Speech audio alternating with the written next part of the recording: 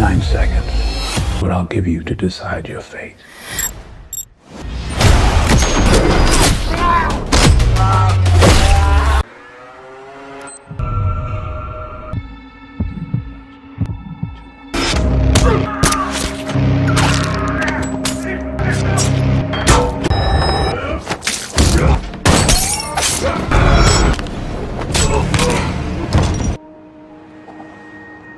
Berawal dari seorang pria tua biasa bernama Robert Michael yang selalu bangun pagi untuk berangkat kerja di home market.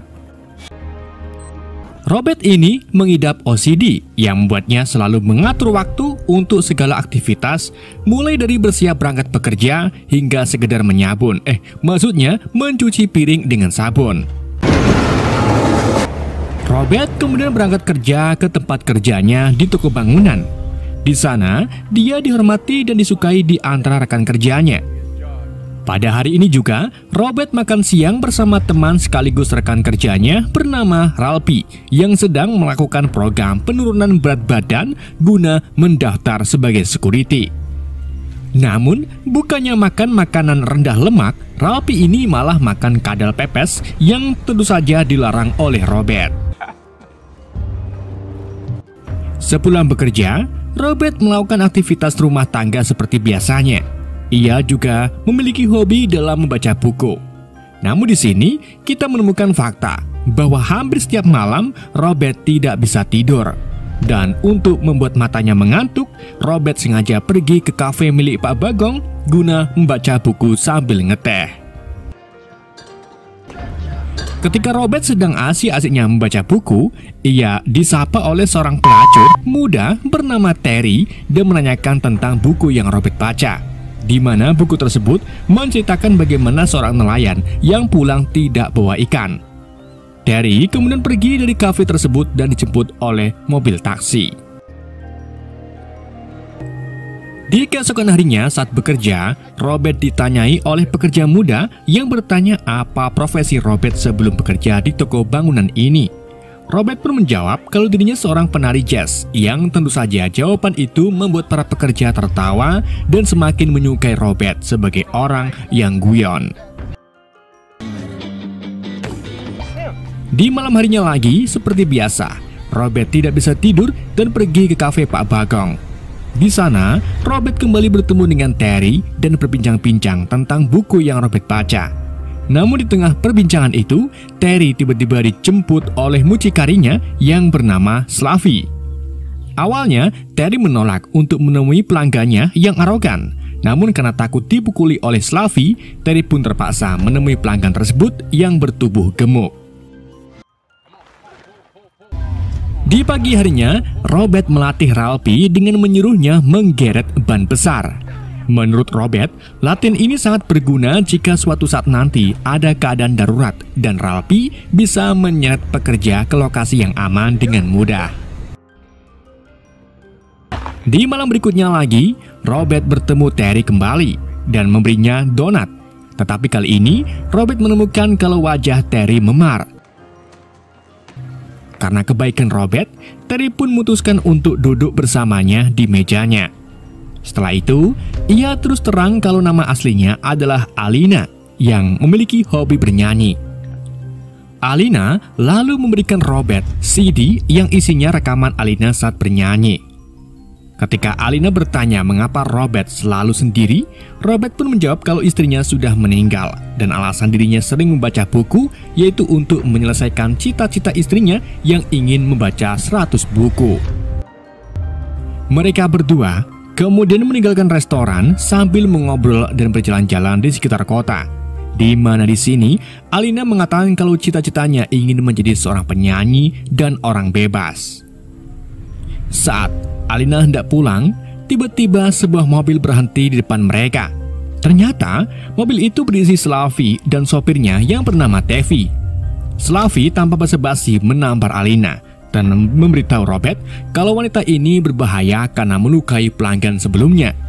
Hal ini Alina lakukan karena pelanggan tersebut berbuat tidak wajar yaitu menyuruh Alina memakan coro. Slavi pun kemudian memasukkan Alina ke dalam mobil dan memberi Robert kartu bisnis siapa tahu Robert ingin jajan di suatu saat nanti. Setelah kejadian itu, Robert tidak pernah lagi melihat Alina di kafe Pak Bagong. Sampai akhirnya, Pak Bagong memberitahu Robert bahwa Alina sedang dirawat di ICU setelah dipukuli secara habis-habisan. Tanpa pikir panjang, Robert pun pergi ke rumah sakit dan menemukan kalau wajah Alina penuh dengan luka sambil didampingi temannya. Setelah beberapa jam menunggu, Robert bertemu dengan teman pelacur Alina yang bernama Mandi. Robert lalu menghibur Mandi yang menangis melihat temannya hampir mati. Setelah itu, ia menanyakan apa yang terjadi kepada Alina. Mandy pun menjelaskan bahwa Alina dipukuli Slavi karena memukul pelanggannya. Tidak cuma itu, Mandy juga mengatakan bahwa Slavi juga pernah melemparkan asam baterai ke wajah seorang gadis untuk menjadi contoh jika para gadis melanggar aturan. Setelah mendapatkan informasi dari Mandy, Robert entah bagaimana menjadi gelisah dan terlihat ingin sekali membalas apa yang telah Slavi perbuat kepada Alina. Ditambah lagi, Robert pernah mendengar kalau Alina ingin sekali menjadi orang yang bebas. Karena merasa kasihan, Robert pun memutuskan untuk menemui Slavi di kafe miliknya.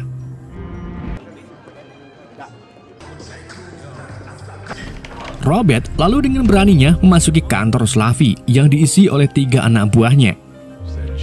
Ia memberikan Slavi amplop berisi 9.800 dolar dan menawarkan kebebasan untuk Alina.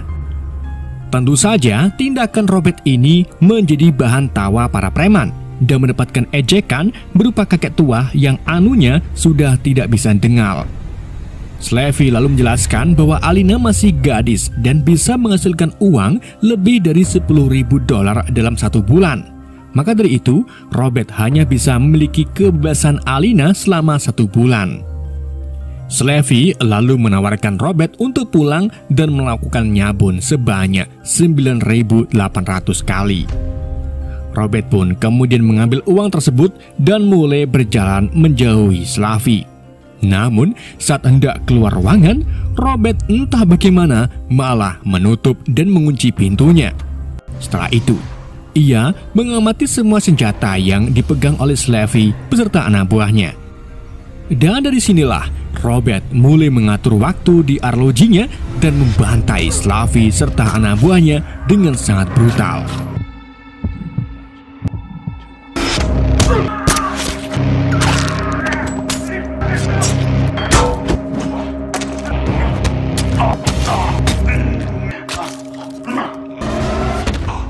Setelah membunuh anak buah Slevi, Robert menghampiri Slevi yang mengeluarkan banyak darah dan mengatakan kalau Slevi akan mati dalam 19 detik lagi. Melihat keterampilan Robert dalam membunuh sangat lincah, Slevi pun bertanya, siapa kamu sebenarnya? Tentu saja Robert tak mau menjawabnya dan pergi begitu saja. Setibanya di rumah, Robert membersihkan bercak darah yang ada di tubuhnya setelah itu, Robert entah bagaimana bisa tidur nyenyak seolah-olah membunuh adalah tindakan yang bisa membuat Robert tenang. Di keesokan harinya, Robert melihat berita televisi yang menampilkan pembunuhan geng mafia Slavi. Dalam berita itu, para penyidik menyebutkan kalau pelakunya adalah geng saingan mereka.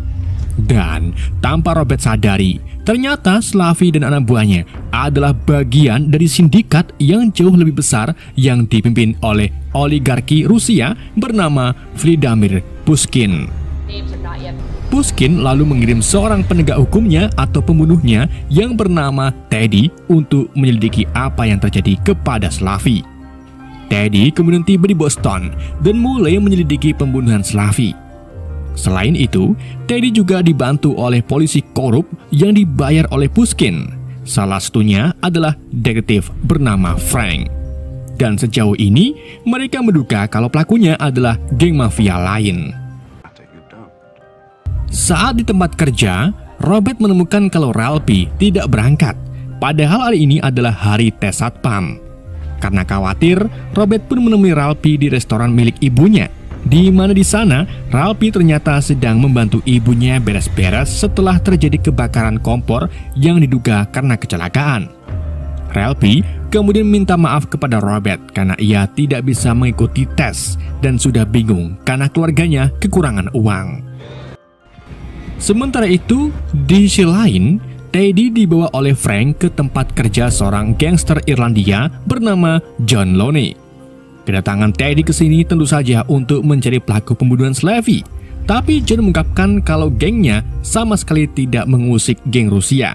Dan sebaliknya, ia malah mengungkapkan kalau geng Rusia lah yang sering membuat onar. Mendengar ocehan dari John yang tak ada putusnya, Teddy pun menjadi marah dan memukulnya dengan asbak, sedangkan Frank membunuh dua preman John.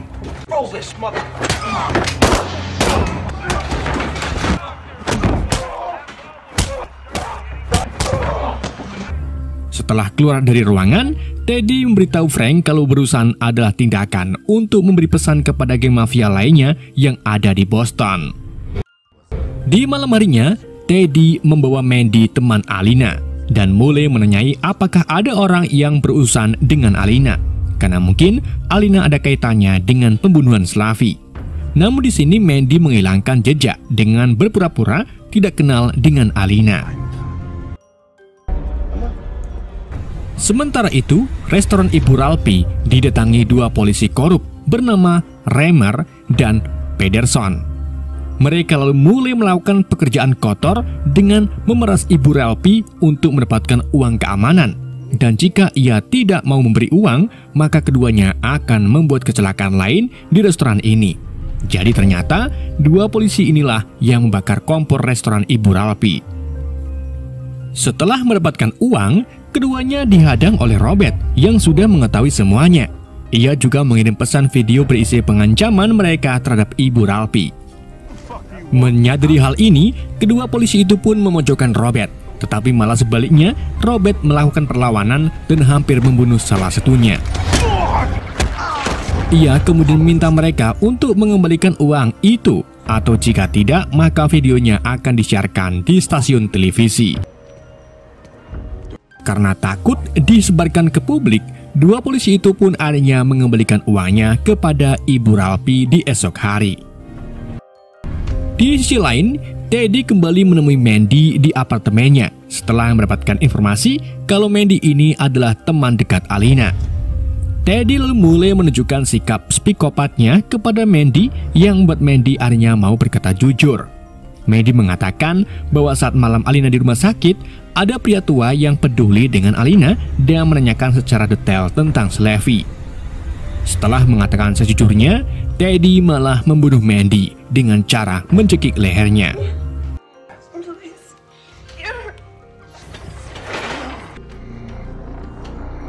Setelah itu, ia membagikan foto Robert yang tertangkap di CCTV kepada para polisi korup dan meminta mereka untuk menyelidiki Robert karena pastinya dia bukan orang sembarangan. Sementara itu, saat para karyawan toko bangunan sedang mengadakan sepak bola, kita diperlihatkan bahwa Relpi sudah menjadi seorang satpam. Dan tentu saja itu berkat bantuan Robert. Selain itu, Robert juga mulai menerapkan keadilan main hakim sendiri di mana di siang hari ada seorang perampok yang diam-diam meminta uang kepada pelayan toko bernama Jenny Robert yang kebetulan berada di tempat mencoba untuk melawannya. Tetapi di saat itu juga ada dua anak kecil yang datang, yang akhirnya membuat Robert membiarkan perampok itu mengambil uangnya. Namun si perampok belum puas dan minta cincin kawin dari Jenny. Robert pun menyerahkan cincin tersebut dan setelah itu ia mengikuti si perampok untuk menghafal ciri-ciri mobilnya. Di hari berikutnya, si pelayan entah bagaimana menemukan cincinnya di laci. Ternyata yang mengembalikan cincin itu adalah Robert yang berhasil menghajar si perampok tadi malam dengan sebuah palu. Singkat cerita, saat Robert sedang berada di rumah, ia didatangi oleh Teddy yang berpura-pura menjadi seorang detektif. Teddy menanyakan tentang Slavy dan Alina serta menunjukkan foto kematian Mandy yang direkayasa jatuh dari lantai atas. Di sini, Robert benar-benar bersikap profesional, seolah-olah ia tak kenal dengan Alina. Dan sebaliknya, Robert malah menanyakan surat penyelidikan polisi dari Teddy, yang tentu saja membuat Teddy memilih untuk pergi. Menyadari dirinya sedang diincar oleh mafia Rusia, Robert pun membuat rekayasa menjadi seorang turis. Ia sengaja membeli obat mabok terbang dan memesan tiket pesawat. Sementara itu, Teddy terus menggali identitas Robert.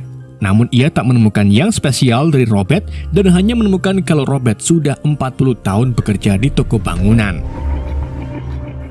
Di malam harinya saat Robert sedang ngeteh di kafe Pak Bagong, ia melihat pengunjung berpakaian petugas proyek.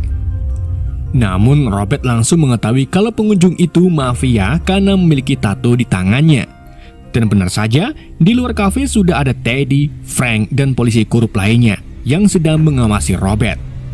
Mengetahui dirinya bakal dikepung, Robert pun mengajar pengunjung tersebut dan pergi dari kafe sambil memotret Teddy.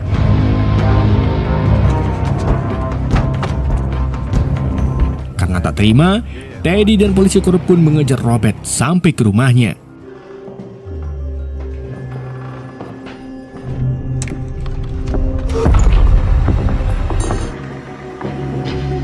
Di mana? Di dalam rumah Robert, mereka menemukan botol obat mabuk serta riwayat pembelian tiket pesawat ke Meksiko. Hal ini tentu saja membuat Frank berpendapat kalau Robert sedang menuju ke bandara. Namun pendapat itu langsung dibantah oleh Teddy yang sadar bahwa semua ini hanyalah rekayasa Robert. Dan benar saja, ternyata Robert berada di gedung sebelah sambil memantau pergerakan mereka. Someone down the airport. Ticket to Mexico two days ago. He's not going anywhere. Di keesokan harinya, Robert meninggalkan kota Boston dan pergi ke sebuah rumah megah di tengah perkebunan. Ternyata, Robert ini sedang menemui teman lamanya bernama Susan dan suaminya bernama Brumer. Susan sendiri merupakan anggota Badan Intelijen Amerika yang disingkat sebagai DIE. Dan di sinilah terungkap siapa Robert sebenarnya. Ternyata Robert adalah mantan marinir AS yang sekarang menjadi agen lapangan sekaligus agen pembunuh paling cerdik di DIE. Kedatangan Robert ke sini untuk menanyakan informasi kepada Susan tentang Teddy dan anak buahnya. Dan sebagai seorang teman, Susan pun mau mencarikan informasi itu untuk Robert. Ketika Susan pergi mencari informasi, Plumer dan Robert berbicara tentang kecelakaan bom mobil yang Robert tumpangi beberapa tahun yang lalu. Jadi ternyata sebenarnya Robert ini sudah dinyatakan mati, tapi ternyata masih hidup guna menyembunyikan identitasnya. Setelah Susan pulang, ia memberitahu Robert bahwa orang-orang yang dia bunuh adalah bagian dari mafia Rusia yang dipimpin oleh Vladimir Pushkin. Sedangkan Teddy itu sendiri merupakan mantan agen Spetsnaz yang memiliki nama asli Nikolai. Dan sekarang Nikolai bekerja untuk Pushkin guna menangani kasus-kasus yang sulit seperti yang dimulai oleh Robert. Susan lalu memperingatkan Robert bahwa orang-orang ini tidak akan berhenti sampai Robert dan semua orang yang dia sayangi mati. Setelah mendapatkan informasi itu, Robert memutuskan untuk kembali ke Boston. Sedang Susan yang baru saja masuk ke rumah ditanyai oleh Plumer apakah Robert minta bantuan. Susan pun mengatakan bahwa Robert tidak meminta bantuan, melainkan meminta izin untuk membantai mafia Rusia sampai ke akar-akarnya. Setibanya di Boston, Robert menyergap Frank Master dan menjebaknya di dalam mobil yang telah dipasang dengan selang dari knalpot. Robert kemudian meminta Frank untuk memberitahu segala informasi tentang semua operasi bisnis Pushkin atau jika tidak, maka Frank akan mati.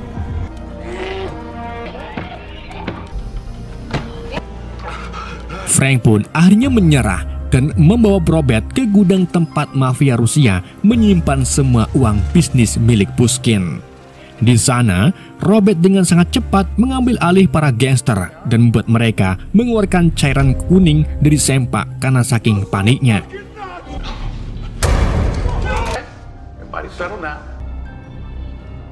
Indulge me, Andre. Setelah menyandera para gangster, Robert memberi uang pesangon kepada para pekerja dengan uang milik Puskin. Setelah itu, Robert memborgol Frank ke tiang dan memintanya untuk memberikan data bisnis Puskin. Tentu saja, Frank keberatan karena jika data itu bocor, maka ia akan mati dalam waktu seminggu. Namun, Robert menenangkannya dengan mengatakan jadilah polisi yang baik yang melindungi dan mengayomi masyarakat. Robert akhirnya menemukan data bisnis Puskin dalam wujud flash disk. Setelah Robert pergi, polisi datang untuk menangkap Frank. Mereka juga menemukan para gangster di gudang yang penuh dengan uang. Di tempat lain, Teddy menyewa dan bertemu dengan pembunuh bayaran berkacamata yang ahli dalam memburu orang seperti Robert. Pria berkacamata itu lalu pamit ke WC. Namun, setelah ditunggu-tunggu, yang kembali bukan pria berkacamata, melainkan Robert yang ternyata sudah membunuh pria itu lebih dulu. Robert kemudian menawarkan Teddy atau Nikolai untuk minta Puskin mencabut semua bisnisnya di sini. Jika tidak, maka Robert akan membunuh Teddy dan Puskin. And when.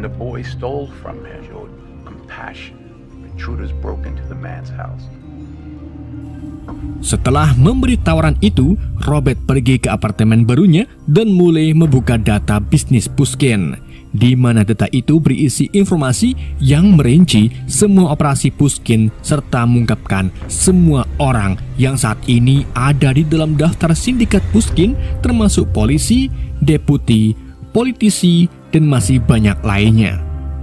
Robert kemudian mengirimkan informasi tersebut secara anonim ke anggota FBI yang menangani gudang penyimpanan uang guna dijadikan sebagai bukti kuat.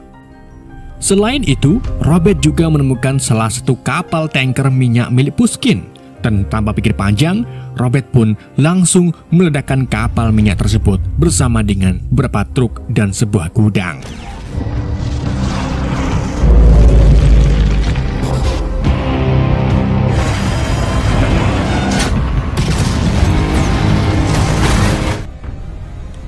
Sementara itu, Teddy tak sengaja menemukan foto Robert yang sedang bersama Ralphie. Dan dari sinilah Teddy akan menggunakan Ralphie sebagai Sandra. Teddy kemudian menelpon Robert untuk memberitahunya kalau dua anak buahnya sedang menyandra Ralphie, Jenny, dan beberapa karyawan di Homart. Teddy meminta Robert untuk datang ke pangkalan minyak yang sudah ia ledakan. Jika Robert menolak, maka Ralphie akan mati. Tak begitu panjang, Robert pun pergi menuju ke pangkalan minyak menggunakan bus sambil dilacak oleh anak buah Teddy. Namun saat Robert hampir sampai di pangkalan, Robert tidak ada di dalam bus dan hanya ponselnya saja. Ternyata, Robert tidak pergi ke pangkalan melainkan pergi ke Homart untuk membunuh dua anak buah Teddy yang sedang menyandra Ralphie.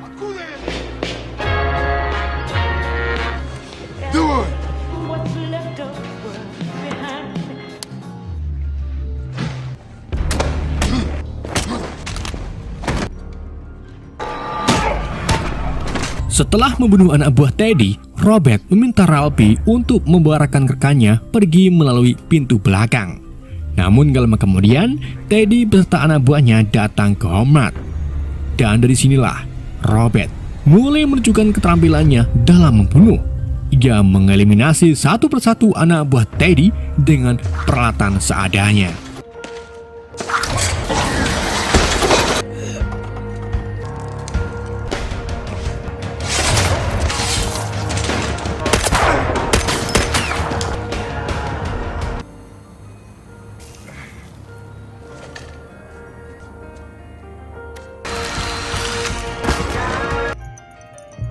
Saat Robert hendak membunuh pria bertubuh besar, ia mengalami kesulitan. Tapi Robert akhirnya bisa membunuh pria itu meskipun tangannya terluka.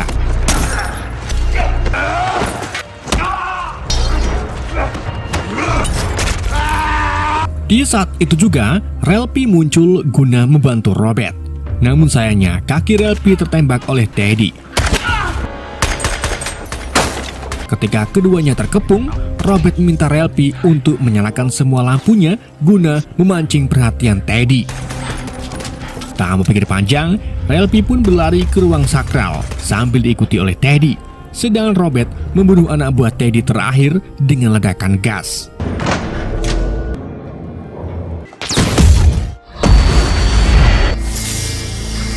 Saat Teddy berhasil menemukan Relpi dan hendak membunuhnya, ia lebih dulu ditembak oleh Robert dengan pistol paku.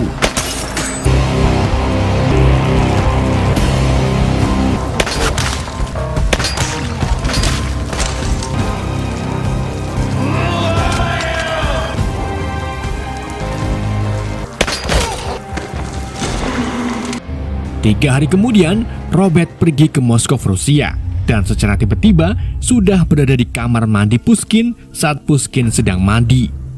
Robert lalu menyalakan dan mematikan lampu berulang-ulang kali serta sengaja mengalirkan air wartafel hingga meluap. Robert kemudian mengatakan tujuannya ke sini, yaitu untuk membunuh kepala ularnya secara langsung. Setelah mengatakan hal itu, Robert pergi dan membiarkan Puskin mati kesetrum listrik yang sudah disiapkan oleh Robert. Robert kemudian berjalan meninggalkan rumah Puskin sambil melewati mayat anak buah Puskin yang sudah ia bunuh lebih dulu. Setelah membunuh Puskin, Robert kembali ke Boston untuk melanjutkan kehidupan tenangnya setelah semuanya selesai. Ketika Robert baru saja keluar dari minimarket, ia dihampiri oleh Alina yang sudah mulai sembuh. Alina memberitahu Robert kalau dirinya sudah mendapatkan pekerjaan nyata dan mulai membaca buku. Tidak cuma itu, Alina juga mengungkapkan bahwa dia menemukan sebuah amplop berisi hampir 10 ribu dolar yang tentu saja itu uang dari Robert. Alina berterima kasih kepada Robert atas apa yang dia lakukan yang menyeratkan bahwa dia tahu dialah yang telah membebaskannya. Robert kemudian melanjutkan kehidupan tenangnya dan membuka jasa joki push rank. Ia lalu mendapatkan pelanggan yang mintanya untuk ngejokiin epic ke mythical glory. Film pun bersambung. Film dibuka di kereta api Turki, di mana Robert Michael sedang menjalankan misinya sendiri untuk mengambil kembali seorang putri yang diculik oleh seorang ayah dari mantan istrinya. Robert kemudian mengikuti ayah dari putri tersebut ke ruangan bar, di mana di sana Robert menemukan kalau ayahnya seorang gangster. No, no, no, no. You wish. Ketika si ayah menyadari misi Mikael, dia pun langsung memerintahkan anak buahnya untuk membunuh Robert. Namun tentu saja, malah sebaliknya, Robert dengan sangat mudah membunuh anak buah tersebut yang berjumlah tiga orang.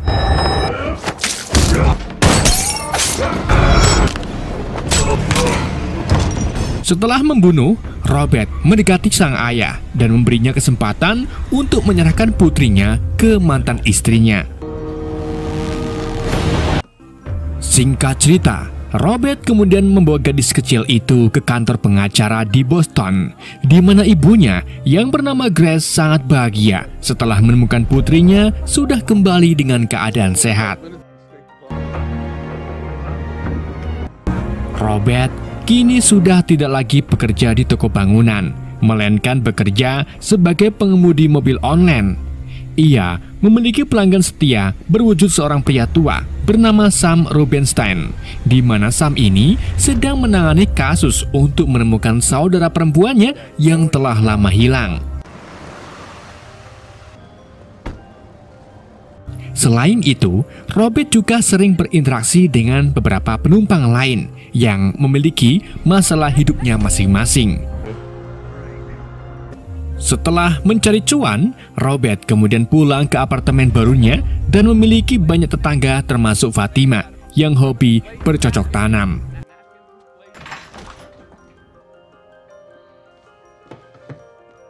Sementara itu, di Belgia, seorang anggota agen pemerintah DAE bernama Calvert baru saja pulang ke rumah dan menemukan istrinya dipukuli oleh tiga pria yang bernama Resnik, Ari, dan Kovac. Ketiga pria itu membunuh istri Calvert tanpa sebab dan setelah itu menembak mati Calvert melalui cangkemnya.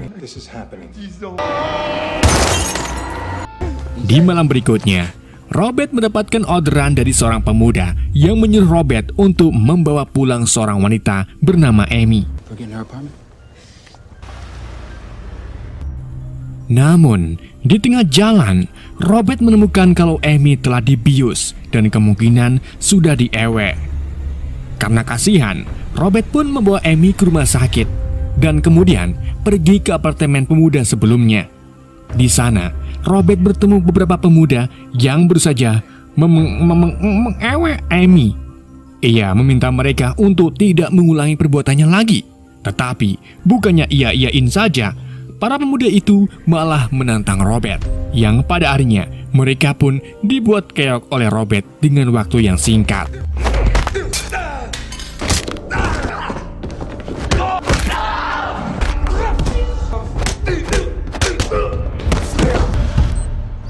Sesampainya di rumah, Robert tak sengaja menemukan Susan Plummer yang sudah ada di rumahnya. Buat yang belum tahu, Susan ini adalah teman Robert yang masih menjadi anggota DAA. Sedangkan Robert itu sendiri sudah dinonaktifkan dari DAA setelah dinyatakan meninggal beberapa tahun yang lalu. Setelah makan bersama, Robert mengantar Susan ke bandara, di mana sebelum Susan naik ke taksi, ia meminta Robert untuk kembali bekerja di DAA. Singkat cerita, di keesokan harinya, Robert menemukan bahwa kebun bunga milik Fatima telah dirusak dan dindingnya dicoret-coret oleh orang usil. Karena kasihan, Robert pun mulai menghapus coret-coretan tersebut. Dan di saat itu juga, Robert bertemu dengan tetangga mudanya yang bernama Miles, yang merupakan seorang mahasiswa seniman. Karena ahli dalam melukis, Melis pun menawarkan bantuan kepada Robert dan mematok harga 250 dolar untuk menggambar ulang coret-coretan tersebut agar menjadi lukisan yang sangat indah. Sementara itu, di rumah Susan, Susan mengadakan rapat online dengan anggota DEA lainnya untuk membahas tentang pembunuhan Calvert. Salah satu anggota yang bernama Dave York sekaligus teman Susan lalu menyarankan Susan datang ke Belgia guna menyelidiki kematian Calvert secara langsung. Singkat cerita, Susan dan Dave pun pergi ke rumah Calvert bersama anggota intelijen lainnya termasuk Interpol. Di sana, para penyidik tidak menemukan barang-barang bukti apa pun yang menuju ke arah pelaku. Namun, saat Susan melihat jendela yang bolong akibat peluru yang membunuh Calvert dan tak mengenai bingkai foto, ia pun langsung pergi dari TKP. Seolah-olah Susan ini sudah tahu siapa pelakunya. Yang jelas, yang menembak bukan Resnik, melainkan penembak jitu dari luar rumah. Setelah dari TKP, Susan kembali ke kamar hotelnya di mana saat masuki lift bersama Dev, ada dua pria mencurigakan yang langsung memencet tombol lantai nomor 9, eh nomor 16, yaitu kamar Susan berada. Dan benar saja, saat Susan baru saja masuk ke kamarnya, ia diseruduk oleh dua pria tersebut yang berniat ingin merampok harta Susan. Susan pun mencoba melawan dua pria itu, tetapi sayangnya karena sudah tua, ia pun akhirnya kewalahan dan berakhir disudutkan oleh mereka. Since uh, we're gonna make this pop out, I'll sign my work. Di sisi lain, Robert yang sedang memantau Miles mengecat dinding tiba-tiba ditelepon oleh Brian, suami Susan, yang memberitahu bahwa Susan telah dibunuh. Mendengar hal ini, Robert pun terbang ke Washington DC untuk menghadiri pemakaman Susan. Tetapi ia duduk di kejauhan karena anggota DEA lainnya masih menganggap Robert sudah mati.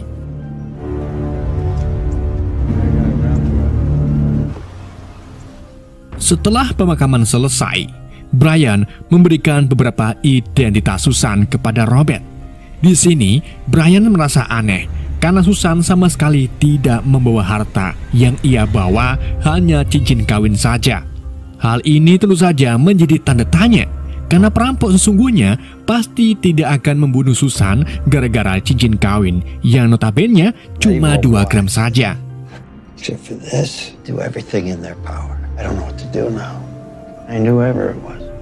Sementara itu, di sebuah apartemen, kita diperlihatkan dua pria yang telah membunuh Susan. Kedua pria itu tiba-tiba mendapatkan telepon tak dikenal, dan saat diangkat, radio di ruangan mereka langsung meledak dan membunuh keduanya. Ternyata, yang mengebom mereka adalah Resnik, Kovac, dan Ari. Ketiganya menyuruh dua pria itu untuk membunuh Susan dan melenyapkan keduanya guna menghilangkan informasi. Di hari berikutnya, Robert sengaja mengunjungi Taman Washington untuk bertemu dengan Dev yang begitu sangat terkejut sekaligus terharu karena Robert masih hidup. Keduanya lalu membahas tentang kematian Susan dan pembunuhan dua pelaku. Di mana di sini Robert melontarkan analisanya, analisanya kalau kematian Susan pasti ada hubungannya dengan pembunuhan on. Backpackers got on first. She never pushed a button there. Setelah bertemu dengan Dev, Robert kembali ke apartemen untuk memantau Miles yang sedang melukis. Namun di waktu yang sama, tiba-tiba dua gangster datang dan mengajak Miles pergi. Tanpa pikir panjang, Robert pun mengikuti gangster itu sampai ke apartemennya. Di sana, ia melumpuhkan beberapa gangster dan mengambil senjatanya untuk memaksa Miles kembali bersamanya. Let's go, Miles. Ternyata alasan Miles ke sini yaitu karena para gangster itu akan membantunya membalaskan dendam pada preman yang telah membunuh kakaknya. Tetapi Robert menjelaskan bahwa Miles tidak seharusnya berteman dengan para gangster. Five pounds of pressure, that's all it takes. You know how to hold Di hari berikutnya, saat Robert sedang ngegrab, ia mendapatkan penumpang pria yang mengatakan ingin pergi ke bandara untuk menjemput putrinya. Namun, Robert curiga dengan tampang pria tersebut yang seperti tukang ngombe. Dan benar saja, saat Robert sengaja mengambil rute yang salah, si pria tiba-tiba mengeluarkan pisau, tetapi langsung dibuat miring-miring oleh Robert. Dengan menggunakan teknik keplak-keplak kopling, Robert akhirnya berhasil membunuh pria tersebut dengan sangat easy. Setelah itu, Robert mengambil telepon si pria dan menemukan informasi berkode di dalamnya ponsel tersebut. Setelah membunuh pria itu, Robert membawa teleponnya ke rumah Dev di mana di sana Robert bertemu dengan istri dan dua putri Dev. Saat keluarga Dev meninggalkan ruangan, Robert menunjukkan kepada Dev informasi di telepon tersebut dan melacak sumbernya kembali ke telepon lain. Dan ternyata telepon itu terhubung dengan handphone milik Dev. Jadi, dalam pembunuhan Calvert, Susan adalah Dev beserta rekan-rekannya yang tentu saja adalah Resnik, Kovac, dan Ari. Di sini juga terungkap bahwa keempatnya adalah murid didikan Robert. Dev kemudian menjelaskan bahwa setelah Robert dinyatakan mati, ia beserta rekan-rekannya melakukan bisnis buruk yang harus melenyapkan Calvert. Tetapi saat Susan menyelidiki kasus Calvert, Dev pun memutuskan untuk membunuh Susan karena pasti Susan akan menemukan pelakunya. Dev lalu mengajak Robert keluar untuk bertemu dengan Resnik, Ari, dan Kovac. Di sini, Robert bersumpah untuk membunuh mereka semua atas apa yang telah mereka lakukan kepada Susan. Di saat itu juga, istri Dev hendak ke kota bersama anak-anaknya. Robert pun mengambil kesempatan ini untuk minta tumpangan kepada istri Dev, sehingga ia bisa lolos dari Dev beserta rekan-rekannya. Singkat cerita, ketika hari mulai gelap, Dev dan komplotannya mendatangi apartemen Brian dengan niat untuk membunuhnya.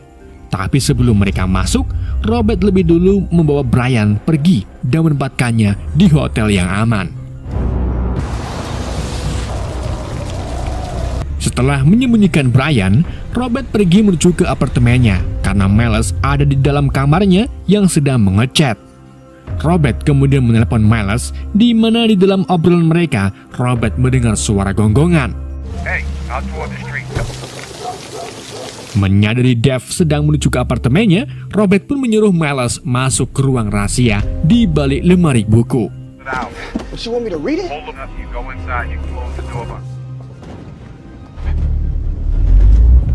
Gak lama setelah Miles masuk, Dev datang.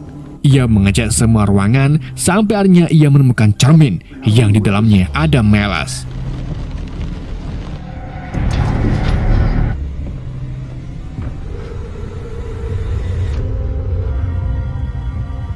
Sebelum Dev menembak cermin itu, ia mendapatkan telepon dari Robert yang memberi isyarat kalau dirinya tidak ada di apartemennya. Tidak cuma itu, Robert juga memberi kode agar Dev bisa menemukannya.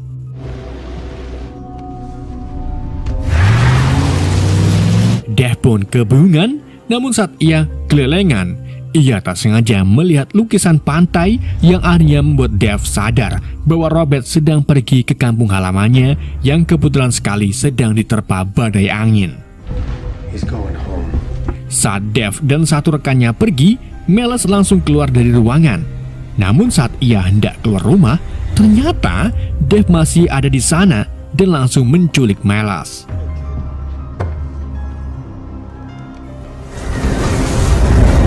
Sementara itu, Robert tiba di kampung halamannya yang sudah dievakuasi. Lama kemudian, Dev dan ketiga rekannya datang untuk menemukan Robert. Dev yang ternyata seorang penembak jitu handal lalu naik ke atas menara untuk memantau Robert. Sedangkan ketiganya bertugas memancing kemunculan Robert. Dalam pencariannya, Kovac masuk ke dalam toko pancing. Namun saat ia lengah, Kovac langsung ditembak oleh Robert menggunakan tombak.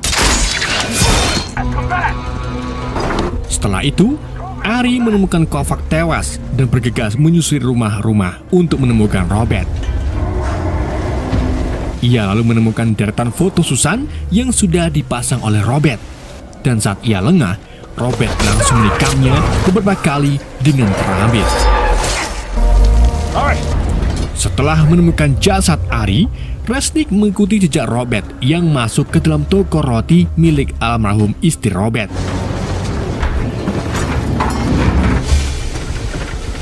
Namun begitu masuk, tiba-tiba ada granat yang secara cepat meledakkan toko roti tersebut.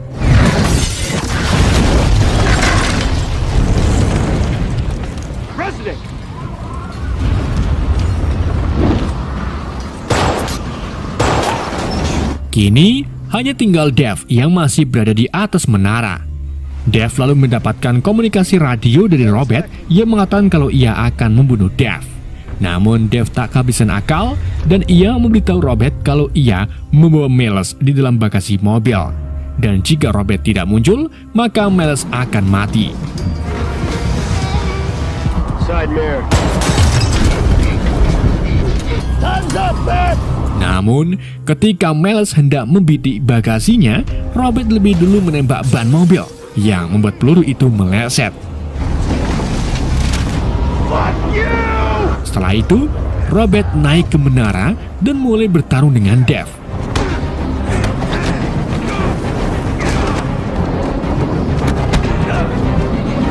Dalam pertarungan itu, Robert berhasil membunuh Dev dan menjatuhkannya ke lautan.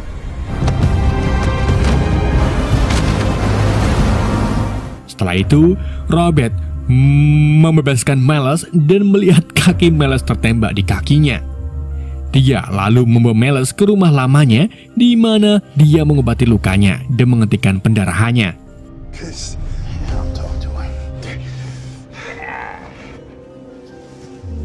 Setelah itu, Miles melihat-lihat foto Robert ketika dia masih menjadi tentara, serta foto bersama istrinya yang bernama Vivian.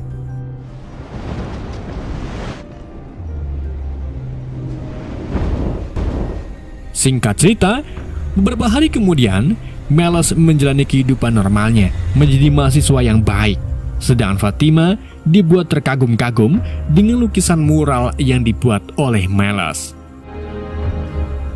Sementara itu, Sam, kakek tua di awal film, akhirnya bertemu kembali dengan saudara perempuannya, yaitu Magda. Dan tentu saja, semua ini berkat bantuan Robert. Film dibuka di Sicilia, Italia, di mana seorang penguasa kejahatan bernama Lorenzo Vitale tiba di kebun anggurnya bersama cucunya. Di sana, Lorenzo dibuat terkejut saat menemukan banyak mayat anak buahnya tergeletak di mana-mana. Dia lalu masuk ke dalam bersama salah satu anak buahnya yang masih hidup dan menemukan dua anak buahnya lagi sedang menahan Robert Michael yang telah membunuh semua anak buah Lorenzo. Robert kemudian menjelaskan kedatangannya jauh-jauh dari Boston ke sini yaitu untuk mengambil kembali sesuatu yang telah Lorenzo curi. Seperti biasa, Robert memberi mereka waktu 9 detik untuk mundur jika ingin hidup. Namun mereka malah menolak yang padanya Robert pun membunuh mereka semua dengan sangat keji.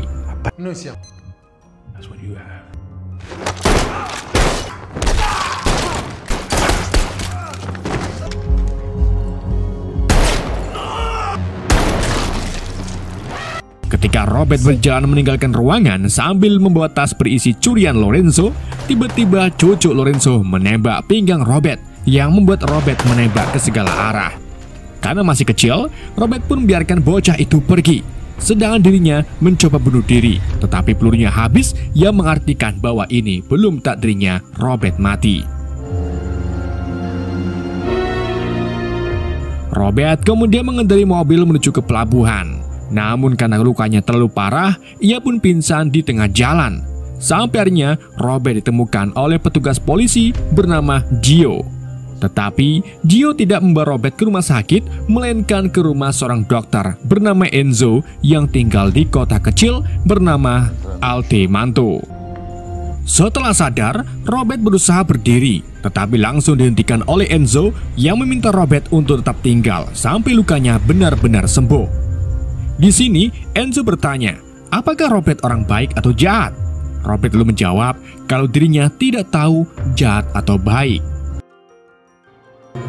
Tiga hari kemudian, Robert akhirnya sudah bisa berdiri dan berjalan menemui Enzo untuk jalan-jalan di kota Altemento. Siapa tahu Robert suka dengan tempat ini. Robert pun kemudian pergi ke jalanan dan melihat kebahagiaan di mata para penduduk di kota. Namun, Robert sedikit agak risih karena ada beberapa kamera pengawas yang terpasang di sudut jalan. Robert lalu berkunjung ke kafe lokal untuk meminta teh. Di sana, Robert berteman dengan karyawan kafe bernama Aminah dan juga polisi Gio yang datang bersama putrinya bernama Gabby. Kedatangan Gio ke sini yaitu untuk mengembalikan kunci mobil Robert. Namun Gio mengatakan kalau dirinya tidak pernah membuka tas milik Robert. Malam harinya, Robert mengunjungi kantor grup finansial CIA Italia dan berbicara dengan petugas Emma Collin. Robert mengaku sebagai warga biasa dan memberitahu Colin tentang apa yang dia temukan di kebun anggur di Sisilia dan menyarankannya untuk menyelidikinya. Informasi ini tentu saja menarik perhatian Colin karena Robert bisa mengetahui nomor kantor CIA yang sangat rahasia. Saat hendak bobo, Robert masih saja terbayang-bayang tentang mendiang temannya, yaitu Susan Plummer yang dibunuh di film kedua. Ia juga ingat bagaimana dirinya membunuh semua anak buah Lorenzo di kebun anggur. Keesokan harinya, saat Robert sedang sarapan pagi di kafe sebelah, ia tersengaja melihat sekelompok preman yang minta uang kepada pemilik kafe. Tetapi di sini, Robert menghiraukannya dan memilih untuk menghabiskan sarapannya. Pada hari itu juga, Robert mulai menyukai para penduduk Altemonte yang begitu sangat ramah dan tantram. Ia juga ditawari topi oleh pemilik toko yang mau menjualnya dengan harga murah kepada Robert. Di hari berikutnya, Saat Robert jalan-jalan, dia tak sengaja bertemu kembali dengan para preman yang kali ini meminta uang kepada pemilik toko ikan bernama Angelo. Pemimpin preman tersebut bernama Marco kemudian menghajar Angelo karena tidak memiliki uang cukup. Setelah Marco mengambil uangnya, ia diawasi oleh Robert yang terpaksa tidak mengambil tindakan apa pun karena boyoknya masih sakit. Marco dan anak buahnya kemudian pergi ke markas milik kakaknya sekaligus ketua mafia Italia paling berkuasa bernama Vincent. Di mana pada saat itu Vincent sedang bernegosiasi kepada pemilik lahan untuk membeli lahannya dengan harga murah. Tentu saja si pemilik menolak karena tanah yang ditawar Vincent adalah tanah milik ayahnya yang sudah sangat tua. Setelah penolakan itu, Vincent pergi menemui Marco yang memberikan uang setoran hasil malak para pemilik toko. Ketika Vincent memberitahu Marco tentang urusan pentingnya, tiba-tiba kakek tua pemilik tanah dibunuh oleh anak buah Vincent. Vincent melakukan hal ini agar para orang-orang tahu kalau dirinya adalah mafia yang harus mereka takuti. Sementara itu, Collins dan rekannya bernama Frank tiba di kebun anggur Lorenzo. Di sana, mereka menemukan 11 juta euro bersama dengan jumlah besar narkotika yang disembunyikan di dalam minuman anggur, di mana narkotika ini dikirim langsung dari Suriah. Temuan ini pun membuat Collins dan Frank berpendapat bahwa kejahatan di Italia mungkin berhubungan dengan teroris.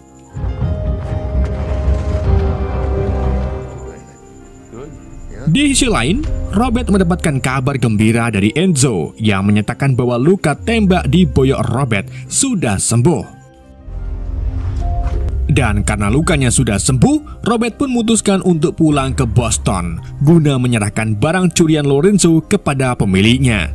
Namun, saat Robert hendak pergi dari kota, ia dikejutkan dengan orang-orang berbondong-bondong ke toko ikan Angelo yang terbakar hebat.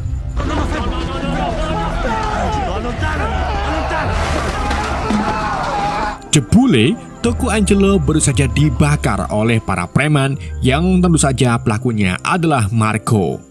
Dari sinilah Robert memutuskan untuk tidak meninggalkan Altemento guna membantu Angelo terlebih dahulu.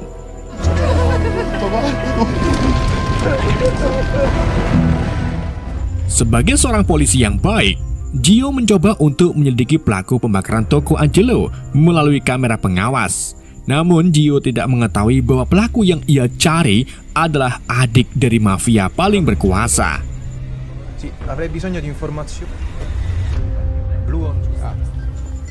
Sementara itu, Robert yang sedang ngeteh di kafe diajak oleh Aminah ke pantai. Di mana di sana banyak sekali kuliner khas Altemento yang dibangun oleh orang tua Aminah. Selain itu, Robert juga menemukan kebahagiaan yang belum pernah ia temui di mana, yaitu menonton layar tancap bersama warga Altemento. Dari sinilah, Robert benar-benar menyukai Altemento dan memutuskan untuk tinggal sementara di sini. Di keesokan harinya saat Robert sedang ngeteh, ia dihampiri oleh Collins yang berhasil menemukannya melalui tiket penjualan kapal feri. Collins mengungkapkan kalau dirinya sangat tertarik dengan Robert yang bisa mengetahui sindikat kejahatan di kebun anggur Sisilia. Namun, Robert mengatakan kalau dirinya hanya kebetulan lewat dan tujuan sebenarnya hanya mengambil sesuatu yang Lorenzo curi. Collins kemudian bertanya tentang Robert bekerja untuk siapa. Tapi tentu saja Robert menolak memberitahu dan menantang Collins untuk beradu kecerdasan dalam menganalisa. Di keesokan harinya saat Gio hendak menjemput Gabby pulang sekolah, tiba-tiba ia mendapat telepon yang mengatakan bahwa Gabby meninggalkan sekolah lebih awal. Menyadari Gabby diculik, Gio pun langsung pergi ke rumahnya untuk memberitahu sang istri. Namun yang Gio temukan malah Marco dan para premannya yang sedang menawan Gabby serta istrinya yang bernama istri. Marco kemudian memukuli Gio secara habis-habisan dan memperingati Gio untuk tidak ikut campur ke dalam urusannya dalam memalak para penjual. Setelah dipukuli, Marco menemui Enzo, di mana di sana Enzo menciptakan sindikat mafia kepada Robert. Mafia itu dikenal sebagai Camaro yang diketahui oleh Vincent. Dan kejahatan ini tidak bisa dihancurkan karena mereka memiliki orang dalam di pemerintahan. Mendengar hal ini, Robert pun menjadi penasaran dengan sindikat kejahatan tersebut. Robert kemudian pergi ke sebuah gereja yang terletak di atas bukit. Di sana, Robert bertemu kembali dengan Collins yang mengabarkan bahwa Robert dinyatakan bukan tersangka dalam pembantaian Lorenzo dan justru malah membantu Sayayai. Karena tidak dijadikan tersangka, Robert pun memberikan tugas kepada Collins untuk memeriksa pelabuhan Elba dan Sardinia yang, di, yang dijaga ketat oleh kepolisian. Robert berpendapat kalau pelabuhan itu mungkin menjadi tempat penyelundupan narkoba dari Suriah bagi mafia Itali yang sudah bekerja sama dengan kepolisian. Perintah ini pun membuat Collins semakin tertarik dengan analisa Robert namun yang menjadi tanda tanya di pikiran Collins adalah yaitu mengapa Robert mau membantu tugas Collins. Malam harinya, Robert pergi ke sebuah restoran yang kebetulan sekali ada Gio dan keluarganya di sana. Di saat itu juga, Marco beserta anak buahnya datang menghampiri Gio. Marco kemudian meminta Gio untuk mendapatkan sebuah perahu yang dikirim dari Somalia. Setelah memberi tugas haram tersebut, Marco melihat Robert yang dari tadi menatap tajam ke arahnya. Karena tak terima, Marco pun menghampiri Robert untuk mengancamnya. Namun justru sebaliknya, Robert langsung memelintir pergelangan tangan Marco dan menekan saraf di tangannya yang menyebabkan dia kesakitan. Sebelum melepaskan Marco, Robert memperingati Marco untuk tidak mengganggu warga Altemonte lagi. Jika masih mengganggu, maka Marco akan menanggung akibatnya. Setelah mendapatkan perlakuan tersebut, Marco malah menjadi marah dan berniat untuk membunuh Robert. Namun di waktu yang sama, salah satu anak buah Marco tiba-tiba ditabrak mobil miliknya sampai meninggal. Ternyata yang melakukan itu adalah Robert, di mana Robert secara langsung membunuh Marco beserta anak buahnya tanpa ampun.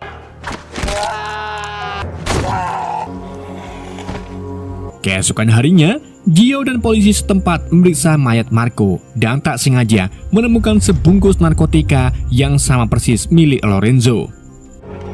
Bersama dengan itu, bom meledak di kota Roma. Frank pun mengabarkan serangan bom ini kepada Collins dan memberitahu kalau pelakunya merakit bom dengan barang-barang yang sangat canggih. Tentu saja, hal ini sangat ganjal karena bom yang mereka rakit sangat mahal bagi seorang teroris. Setelah mendapatkan kabar itu, Collins menemui kepala kepolisian Italia bernama Barella untuk minta izin menginterogasi beberapa napi yang sebelumnya melakukan pengeboman. Akan tapi, dari lima napi tersebut, Barella melarang Collins untuk menginterogasi salah satu pelaku yang bernama Gundul Berjenggot. Karena penasaran, Collins pun malah menginterogasi Gundul berjenggot untuk menggali informasi tentang pengumuman di Roma. Namun si Gundul berjenggot enggan memberitahu informasi apa-apa kepada Collins. Sementara itu, kepala kepolisian Barella entah bagaimana mendatangi Vincent yang sedang berkabung atas kematian adiknya. Ternyata, Vincent ini telah menyuap Berella untuk melancarkan kejahatannya termasuk menyelundupkan narkotika dari Suriah melalui pelabuhan yang dijaga ketat oleh para polisi. Tidak cuma itu, pengumuman di Roma juga bukan ulah teroris, melainkan ulah Vincent. Barella kemudian minta Vincent untuk membunuh agen Collins karena dia dianggap sebagai ancaman bagi bisnis mereka. Namun Vincent menolak dan malah meminta Barella untuk mencari pelaku yang telah membunuh adiknya. Bukannya ia iain aja, Barella malah menghina Vincent yang akhirnya membuat Vincent marah dan memotong tangan Barella. Setelah itu, ia melarikan diri ke rumah sakit melalui anak buahnya. Hal ini Vincent lakukan guna memancing kedatangan Collins. Ya, manto. Sementara itu, di rumah Enzo, Gio memberikan bungkusan narkotika yang ia temukan di mobil Marco kepada Robert.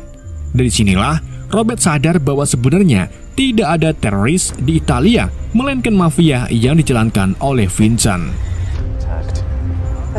Robert kemudian menelpon Collins yang hendak pergi ke rumah sakit menemui Barella. Robert memberitahu Collins bahwa mafia Italia yang menjadi dalang dari semua ini. Setelah menutup teleponnya, tiba-tiba mobil yang akan ditumpangi Collins diledakkan oleh bom. Ledakan itu membunuh dan melukai banyak polisi termasuk Collins. Tapi untungnya, Collins masih bisa diselamatkan dan segera dibawa ke rumah sakit. Di sana, Collins langsung memberitahu Frank bahwa pelaku pengumuman bukan teroris melainkan mafia Camaro. See, okay. Di malam harinya, Vincent dan anak buahnya pergi ke Altemento, lokasi tewasnya Marco. Di sana, Vincent menyandra Gio sambil meminta para warga untuk keluar dan meminta mereka untuk mengaku siapa yang telah membunuh adiknya. Ketika Vincent hendak membunuh Gio, Robert akhirnya muncul dan mengaku kalau dirinya lah yang telah membunuh adik Vincent. Tak berpikir panjang, Vincent pun mengarahkan pistolnya ke arah Robert. Tapi saat ia hendak menarik pelatuknya, Angel lebih dulu menembakkan senapannya dan disusul dengan para warga yang merekam aksi kejahatan Vincent. Tentu saja, hal ini membuat Vincent berpikir dua kali untuk membunuh Robert.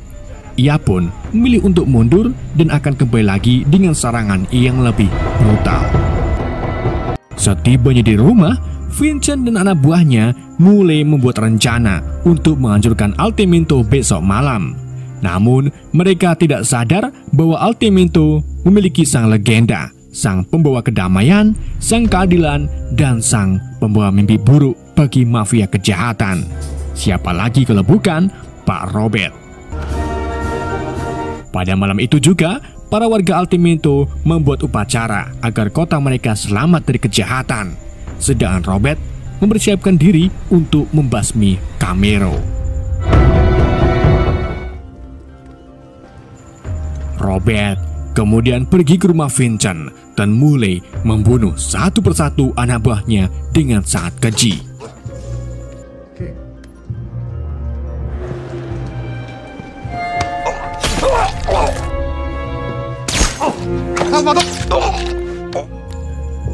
Setelah membunuh semua anak buah Vincent, Robert memberi kejutan kepada Vincent yang sedang bubuk ganteng dengan menjatuhkan mayat anak buahnya yang jatuh dari plafon.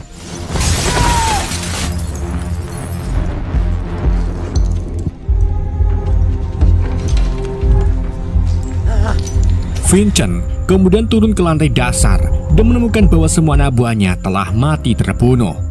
Ia lalu dipukul oleh Robert, di mana Robert sengaja memasukkan puluhan pil narkotika ke dalam mulut Vincent. Setelah itu, Robert memberitahu Vincent bahwa dalam waktu 6 menit ia akan mati akibat efek obat-obatan tersebut. Robert kemudian membiarkan Vincent melarikan diri sambil diikuti. Dan setelah berjalan cukup dekat, Vincent akhirnya mati di tangan tengah di tengah-tengah jalan.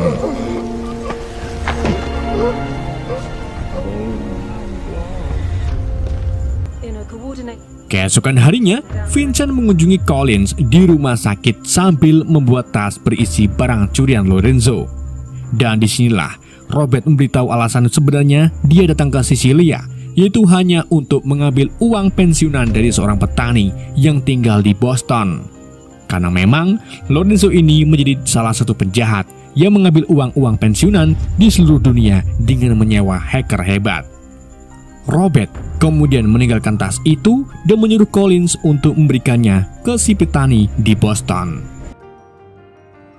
Beberapa hari kemudian, Collins pergi ke Boston dan menemui si petani serta istrinya yang hendak pindah rumah karena rumah mereka akan disita. Collins kemudian memberikan uang pensiunan itu kepada si petani yang membuatnya sangat senang serta terharu.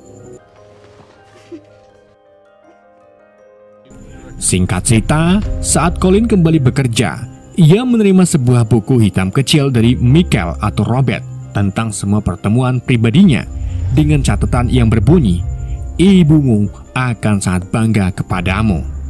Collins kemudian melihat foto di mejanya yang mengungkapkan bahwa ternyata Colin ini adalah putri Susan. Itulah mengapa Robert membantu tugas Collins. Film ini ditutup dengan Robert yang memutuskan untuk tinggal di Altemento bersama para warga yang sangat baik kepadanya.